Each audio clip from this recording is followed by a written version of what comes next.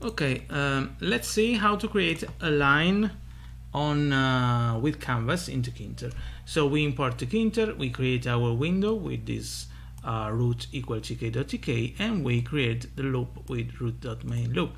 Uh, so now we have to create our canvas equal tk.canvas widget uh, that will uh, be attached to the root and will have a width of 400 and we'll have a height of 400 now we are going to pack our canvas to make it visible and then we have to bind the root to to bind the root to um, our action to the action of the user that is the user when I press the button 1 will go to this function called line.